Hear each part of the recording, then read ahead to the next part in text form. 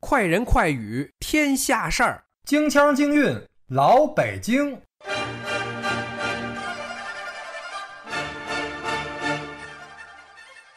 王沪宁，王沪宁到处围堵习近平，民主讲话被蒸发，全过程变成全失踪，核心有点懵。大湾区政策送优惠，拉拢分化反送中，港人表示很无感，一边怒了小粉红。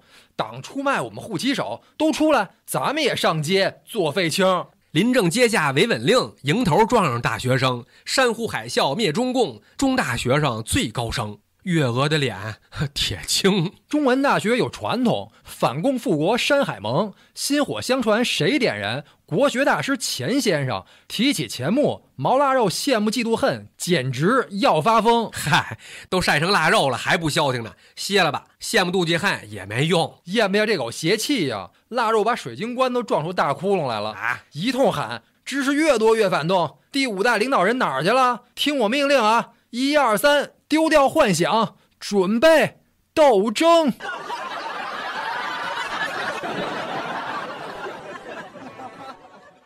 各位茶友，各位观众、听众，大家好，欢迎光临老北京茶馆新频道，品立冬茶，听天下事儿。我是刘卓，我是李正。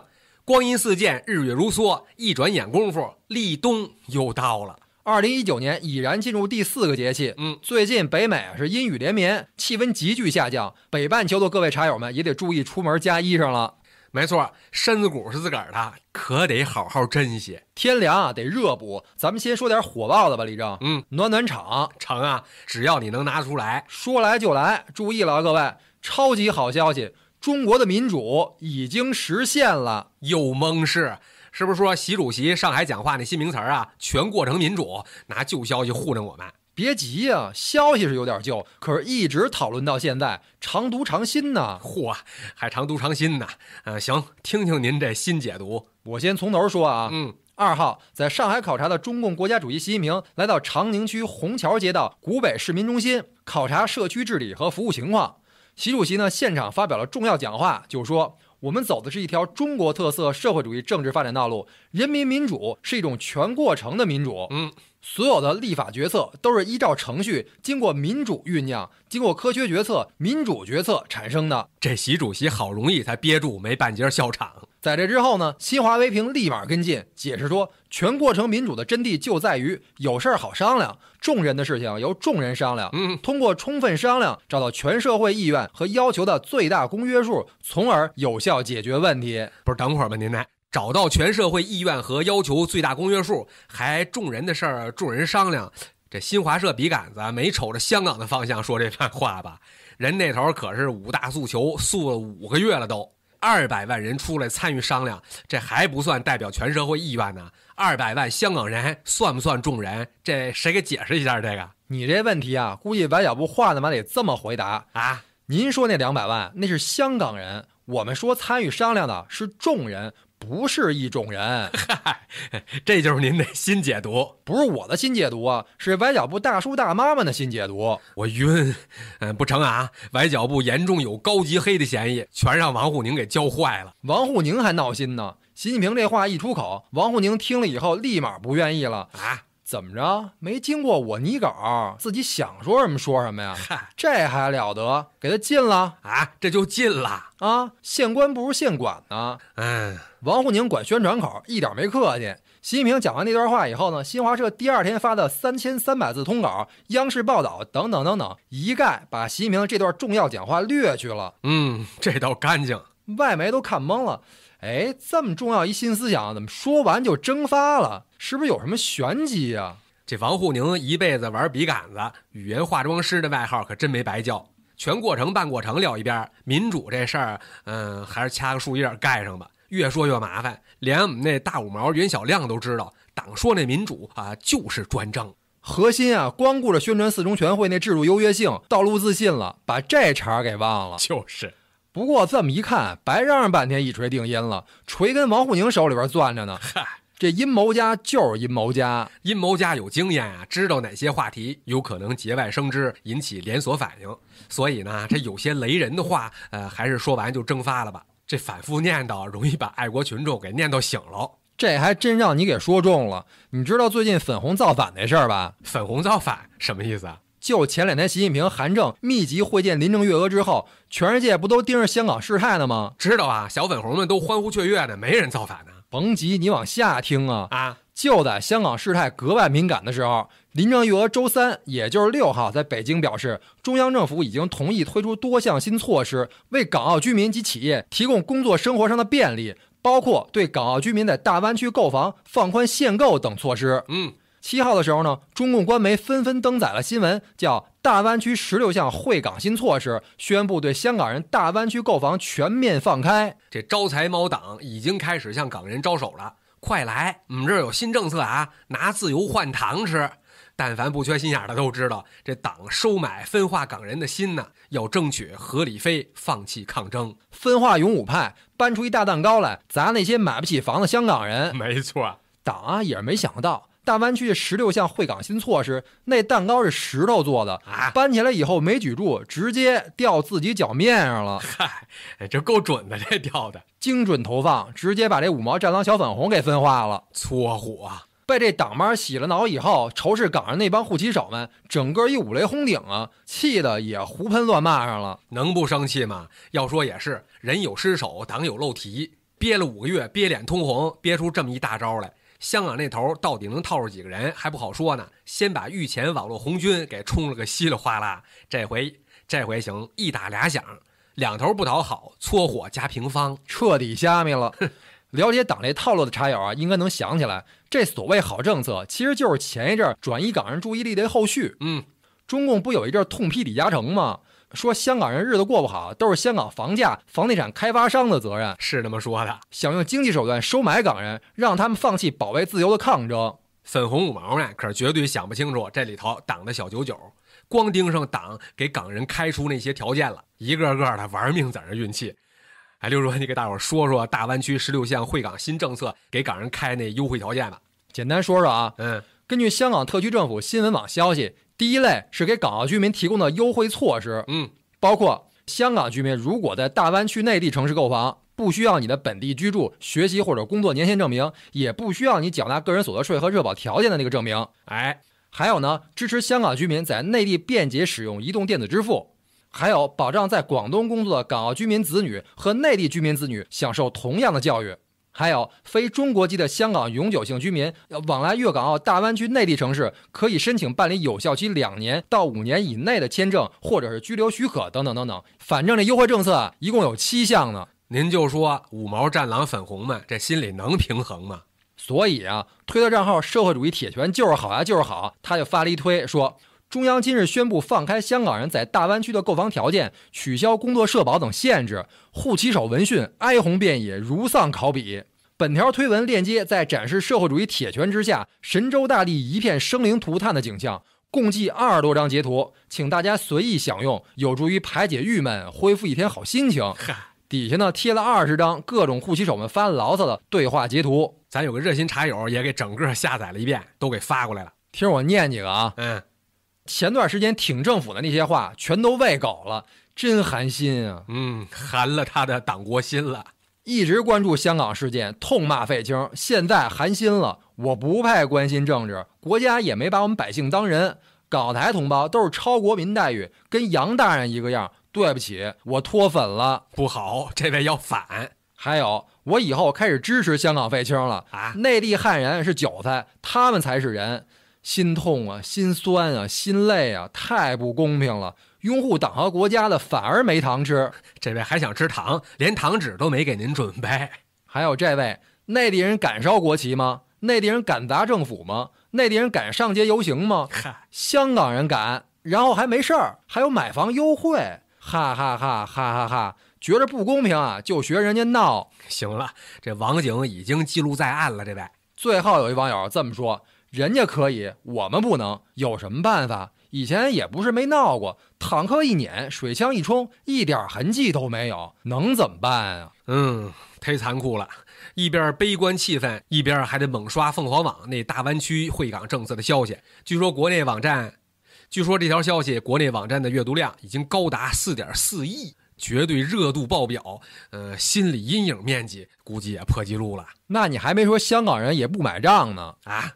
听听香港网友这留言啊，嗯，听听，说快来为祖国（括号共产党的楼市接盘吧）！香港人会吃这个鱼饵吗？就是还有，要我回内地买房子，我比较想拿钱去台湾或者泰国买。嗯，还有，真正香港人不需要大湾区，去大湾区炒房的都是什么人？香港人不背这个锅。得党要没咒呢，党是当挥泪大甩卖玩的，结果弄了一里外不是人。这七号这天，呃，党是超级狼狈呀。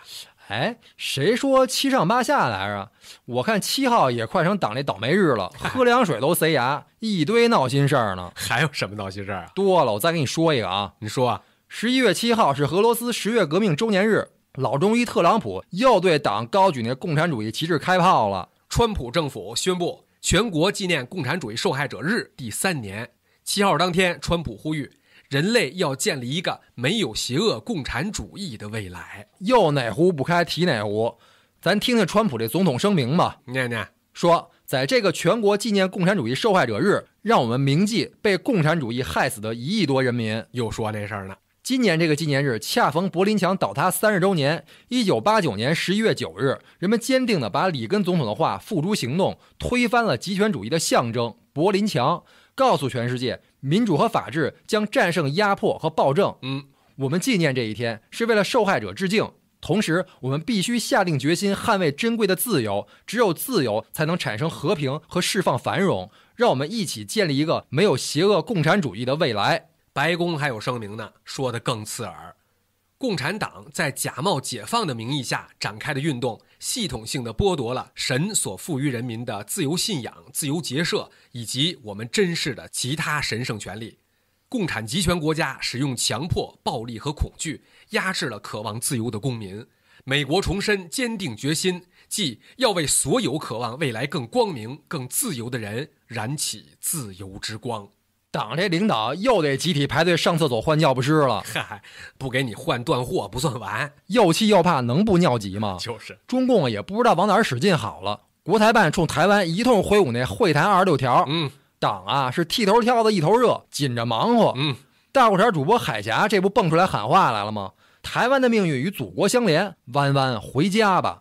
结果海峡这话一扔出来，立马把党那哽嗓咽喉给堵上了。两岸女主播隔空过招，关键被人家台湾女主播一招制敌给撂那儿了呀。又玩线了。嗯，说说这事儿。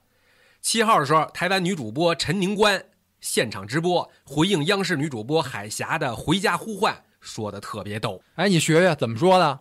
听着啊，我觉得很扯哎，香香一回家就被家暴，拜托，弯弯不回家。弯弯看到香香一回家就被家暴，看都看得怕死嘞，谁要跟你回家？行了，听完这话，央视台长把海峡一通臭骂是躲不过去了，让你出去抖机灵去，还弯弯卖什么嗲呀？这活还能不能干了？干不了说话。嗨，伺候党这活儿真难干了。要怎么说祸不单行呢？七号这天还有一事儿呢，香港中文大学的毕业典礼，这毕业生一出场，灯全亮了。行，说说这事儿。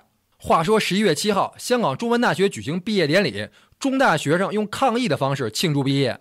毕业生呢集体合作，举着超震撼的大标语出席，校方不敢阻拦，最后宣布毕业典礼提早结束。嗯，这好，来也匆匆，去也匆匆，就这样风雨兼程。今天你又去远行，正是风雨浓啊！嗨，呃，咱俩就别对歌词儿了，接着说毕业典礼。接着说吧。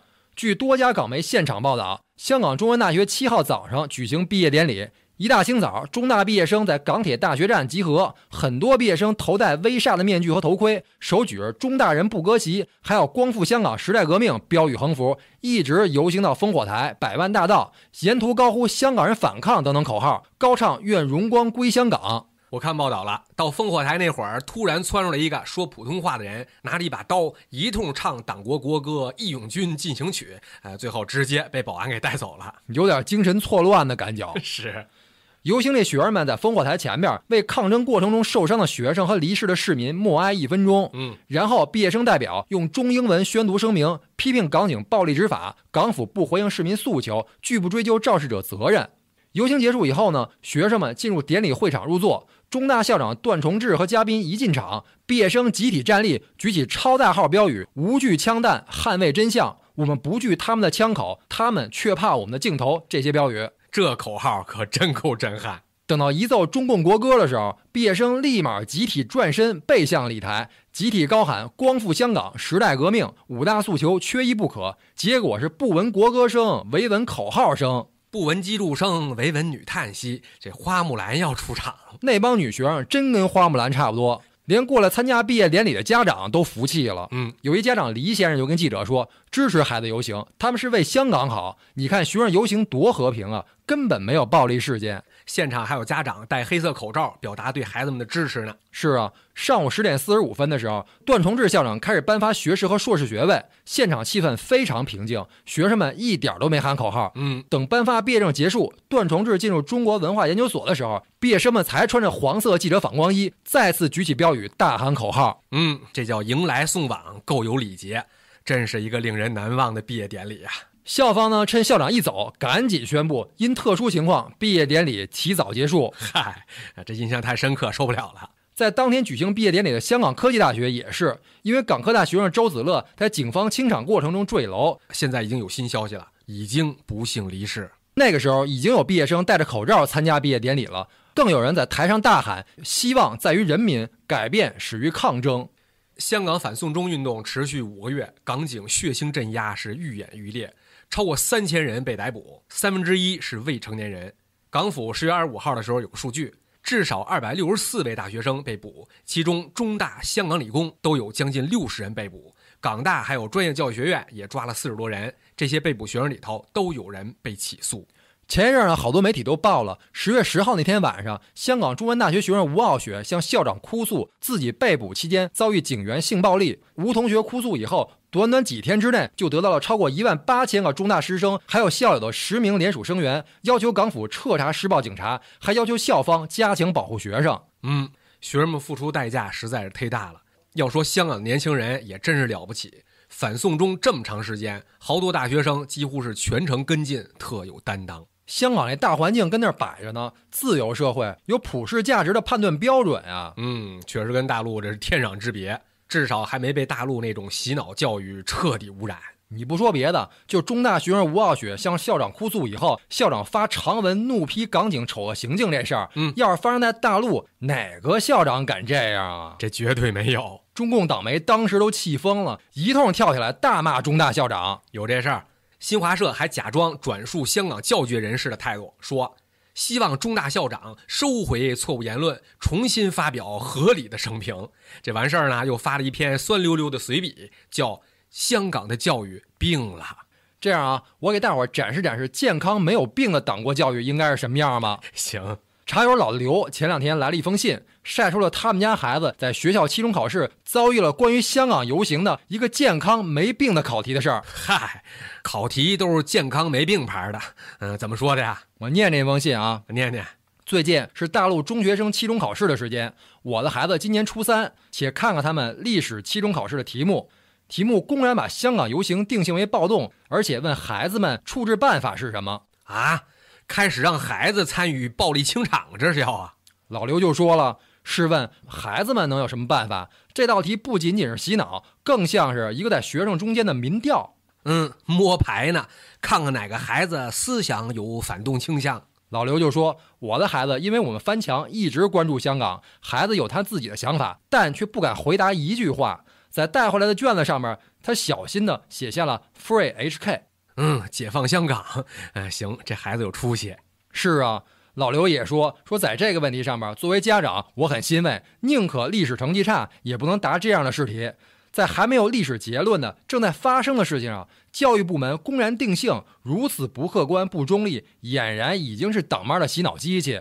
我为自己的孩子选择沉默，心中只能有一点卑微的骄傲。嗯。您就说香港的孩子们干嘛这么拼命抵制中共染红香港？这道考题把理由彻底说清楚了，不抵制真不成，不对比是真不知道严重性啊！就是。不过这一对比呢，也看出来了，经过十几年各自的教育，大陆和香港出来的大学生独立思考的能力和勇气得差到哪儿去了？就是。你看看港中大这毕业生想的是什么？你再看大陆那帮精致利己主义的大学生想的是什么？都泄气了，让人嗯，真羡慕港中大这些学生啊！摊上一好校长，还有那么多好同学一块儿抗争。哎，刘卓，你知道香港中文大学这校长学生为什么这么有气节吗？有气节，应该是香港那大环境吧？这具体还真不知道。这事儿我可得给你好好盘盘古。香港中文大学在这次反送中抗争里头表现这么出色，这是因为香港中文大学创办人、第一任校长钱穆先生是以最坚决的反共、恢复中华传统文化为终身志向的民国国学大师。啊，中大还有这历史呢？那必须呀、行，今儿算来着了。那好好给我们讲讲中大这第一任校长的事儿吧。成，咱们说说钱穆先生。这样啊，咱们把这镜头还得切换到四九年之前去。哟，这老电影开场了，开始吧。开始，咱们都知道，民国时期在中国是大师辈出的一个辉煌时代。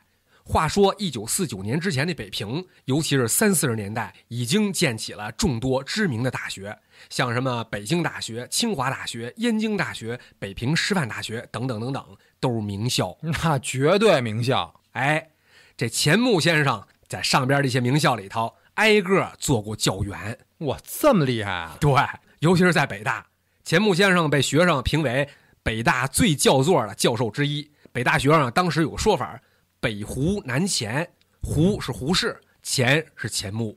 哦，跟胡适齐名，嗯够水准。抗战爆发以后呢，钱穆先生跟随着北大南撤到了云南。哦，好像变成西南联大了吧？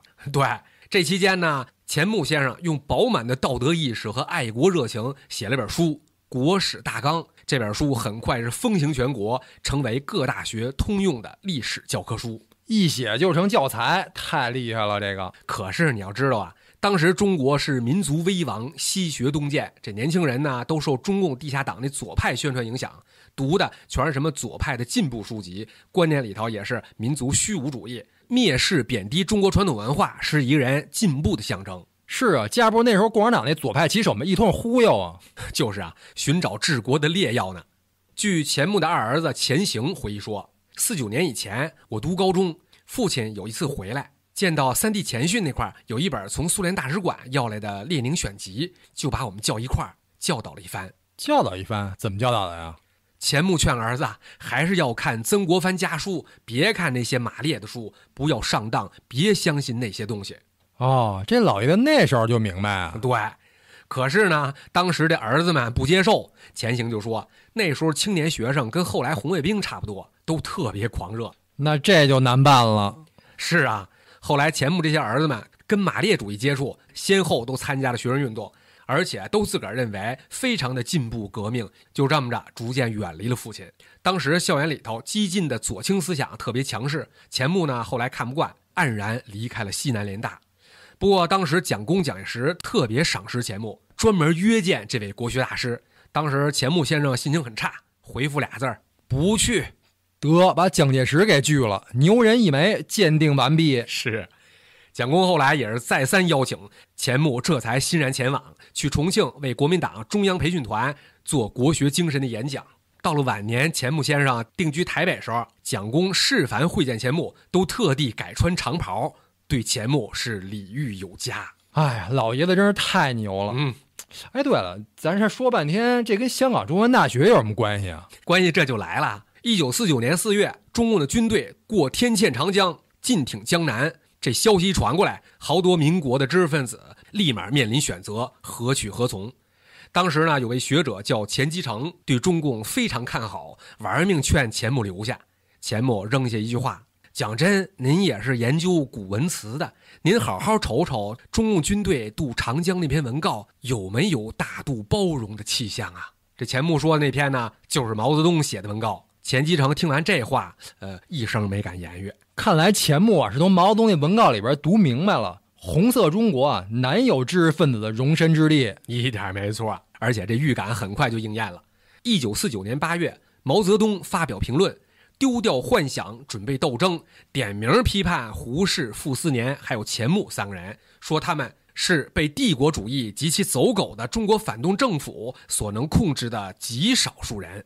瞅见没有？这就已经开始骂上了。就是啊，毛这公然一骂街，这钱先生虽然早有思想准备，呃，可也是大大的出乎了自己的预料。后来钱穆就说：“要说我也算是单枪匹马一介书生啊，足迹不到京沪平津，况且也没在公立学校教书，这怎么会找到我头来了？形势不好，老爷子还是赶紧颠吧。真让你说着了，现在撒丫子已经晚了。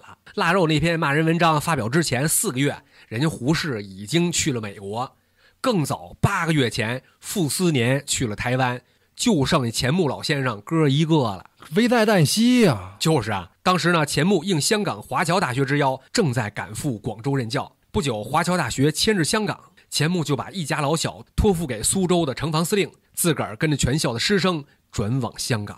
真够惊险的，这晚走半步都悬了。哎。到了香港呢，钱穆见到了很多彷徨的流亡青年，也是一些失学青年。当时这些孩子是走投无路，钱穆就想到应该办一所可以用中文学习的大学。钱穆当时找了几位志同道合的学者，在九龙借了华南中学三间教室，筹办了一家亚洲文商学院，这是夜校，钱穆担任院长。到了五零年，上海商人王岳峰在九龙深水埗买下一栋小楼，贡献出来做了校舍。学校搬了家。名字也更新为新亚书院，哎，改白天上课了。院长还是钱穆哦。闹半天，这中大的新亚书院是这么来的呀？对，钱穆在校刊上公开撰文说，本书院创始在一九四九年之春，当时因有感于共产党在中国大陆刻意摧毁本国文化，故本书院特以发扬中国文化为教育之最高宗旨。在今日民主主义与集权斗争之下。中国青年在思想上应有正确的认识，以免误入歧途，既误其本身前途，亦贻害于国家民族以及世界和平。这不愧是国学大师啊！这远见不是盖的。嗯，听着这话，共产党的一碗凉水是看到底了。不过这建校初期呢，其实是非常的艰难，没经费。钱穆先生那办公室晚上就是他本人宿舍，因为学生全是内地的流亡青年，没钱，所以就这不足百人的师生，每月亏空就多达三千港币。后来还是蒋公一直出资帮了四年，直到学校争取到了美国耶鲁、哈佛大学的援助，蒋公才逐渐停止了拨款。哎，你说这，我想起个事儿啊，那当时中共有没有上香港去统战钱穆去呀？这不是共产党一贯伎俩吗？是，那能放过他吗？上个世纪五十年代的时候，中共派钱穆的老师吕思勉，还有钱穆侄子钱伟长一块统战来了，劝钱老回大陆大展宏图。那老爷子答应了吗？能答应吗？钱穆给老师吕思勉写了封回信，说一旦回大陆，虽无刀斧之行，但需洗心革面，重新做人。这是学生万万做不到的。我在香港看见冯友兰、朱光潜这两位教授。在知识分子思想改造当中做检讨，我要像他们那样做检讨，坚决办不到。这等于行尸走肉，丧失了人的尊严。呃，不成，坚决不成。嗯，还是钱穆有士大夫气节，真得给这老爷子点赞。到了五七年，钱穆发表《历史真理与杀人事业》，说毛泽东清算了中国历史和中国人，难道中国历史和中国人不会清算毛泽东吗？好杀人、敢杀人、多杀人，绝非历史真理。如若杀人成为历史真理，世界将不会有人类，人类也将不会有历史。用客观统计的方法来检查以往的历史，好杀人、敢杀人和多杀人的中国以往如黄巢李闯，现代世界如斯大林，其他不必多举。试问有哪几位多杀人的人物，在他身前身后没有受到真理的清算？估计毛泽东看见这篇文章得气冒烟了。那不管了。一九六三年，新亚书院联合了另外两家学校——崇基学院、联合书院，合并为一所大学。六十八岁的钱穆先生亲定校名——香港中文大学。哦，钱穆先生亲自起的名字。对，当时在英国属地香港，这是第一所中文教学的大学。到了一九六六年那会儿呢，中国大陆文化大革命开始，大陆的大中学校是一度陷于停顿。根据钱穆先生的夫人胡美琪回忆，钱穆先生是日夜在长廊上走来走去，一言不发，持续一两个月之久。有一天，钱穆突然说，他要编写一部人人自修国文读本，这样将来中国大陆即使老师和课程都没有了。也可以拿这读本为那些研读古文献的国人开一条门径，挽救传统文化中断的危机。哦，明白了。看来香港中文大学这名字真没白起，有担负着守护中华传统文化的使命。嗯，到六九年的时候呢，钱穆赶赴金门，对军官发表演讲。哦，到台湾了，这是对。在演讲里边，钱穆先生给出了惊世语言。他说：“此刻在中国蔓延猖獗的共产主义，最多将是一个有骨骼、有血肉的行尸。大陆政权正如一块大石头，在很高的山上滚下。”越接近崩溃的时候，其力量越大。三面红旗多恐怖，红卫兵文化大革命多恐怖。下头还有更恐怖的事，我们大陆同胞正是受尽苦难，然而最终总会有苦尽甘来之日。我看这钱穆先生还得加一 title，预言家，彻底把这共产党本质看透了。对，还有一事儿呢，钱穆先生根本就从来没承认过中华人民共和国这名头。一直到一九八六年，他还不承认这是国号呢，真够硬的。钱穆就说：“中共盗取政权，从此以下，中国不由中国人自己领导，需改由非中国人如马恩列斯来领导。”就是辛浩年先生那句：“不做中华儿女，做了马列子孙。”对，老爷子钱穆是至死跟中共为敌。晚年时候呢，他一度双目失明。到那时候，钱穆还嘴更不辍呢。他自个儿说让夫人做记录，在《晚学盲言》这本书里头批判马克思邪说，绝对是反共战士。对，哎，对，那钱穆的孩子们后来去没去香港呀？没有。要怎么说洗脑教育坑人呢？这钱穆的儿子们呢，自从被中共洗了脑之后，就跟父亲分道扬镳了。这也真够悲剧的了。一九四九年以后，由于钱穆公开反共，这几个儿女的工作和生活都受到了株连。孩子们呢，也是被逼迫着公开谴责、批判父亲。五零年那会儿呢，钱穆还可以给留在大陆的三个儿子写信呢。在信里头，钱穆非常希望他们到香港读书。可是当时中共已经定性钱穆是卖国了，所以被洗脑的兄弟三人也都认为父亲逃港是不爱国的表现。当时二儿子钱行十八岁，思想特别红，直接把毛那报纸文章用信寄给了他父亲。三儿子钱训就更甭说了，后来做了清华大学二十多年教员。大伙儿知道教什么吗？专门教马列。哎，仨儿子，这共产党真是够坑爹的。这坑爹这词儿搁这儿太合适不过了。后来钱穆的儿女们在政治运动里头陆续被下放，为了避免牵连，钱穆也跟儿女们断绝了书信来往。哎呀，那最后见没见上面啊？见着了，但是已经是三十一年之后，一九八零年的事儿了。三十一年过去，也是物是人非。子女们和父亲重聚，钱穆当时已经八十五岁高龄。钱穆死了以后，夫人胡美琪公开发表回忆文章，就说：“跟子女见面那会儿，钱穆一直等待孩子们向自己道歉或者做个说明。文革那会儿，为什么用那么革命的态度对待自己的父亲？可是钱穆什么也没等到，子女们没向他道歉。”这也成了钱穆临终前难以言表的痛苦和遗憾。反正这些事儿将来都得算共产党脑袋上。钱穆先生教书育人近八十年。一九八六年，钱穆在台湾的宿书楼上了他这一辈子当教书先生的最后一堂课，给学生留下一句话：“你是中国人，不要忘记中国。”一九九零年八月三十号，九十六岁的钱穆无疾而终。秘书清点遗产发现。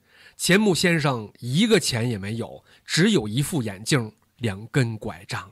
哎，就冲香港中文大学这开山鼻祖这品格和气度，我看共产党啊是无论如何也收买不了中文大学的年轻人了。嗯，怨不得港中大的学生们这么有气节呢，祖师爷那儿传下来的。